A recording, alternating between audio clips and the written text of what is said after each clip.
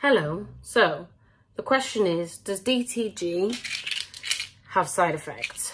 Well, all medicines have possible side effects.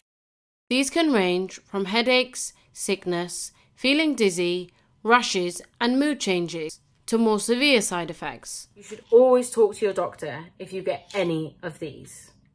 So, what are the side effects of dolutegravir?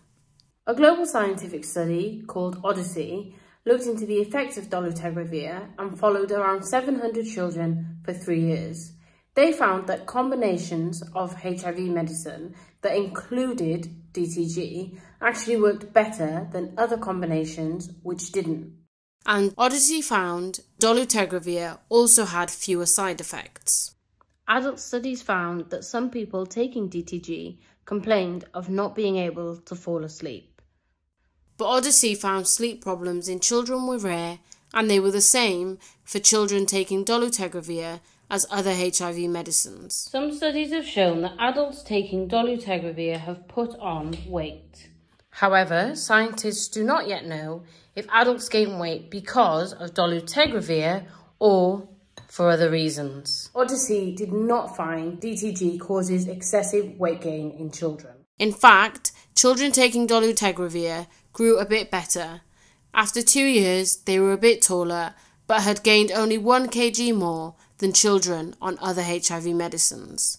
Sometimes a side effect can be an emotional one.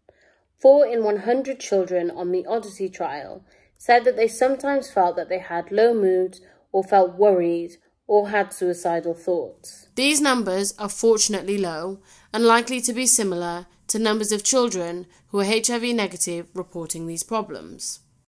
In terms of low mood, Odyssey found that there was no difference between dolutegravir and other HIV medicines, but there were slightly more children taking dolutegravir who reported feeling that life was not worth living. Most said they only felt that once during the study, and they continued taking the same HIV medicines and later felt better. It's really important that if you feel like life is not worth living, that you please, please talk to somebody at your clinic. Even if you think that there's something else going on in your life and it isn't your HIV medicines that are making you feel sad, worried, or anxious, there's always someone there who can support you.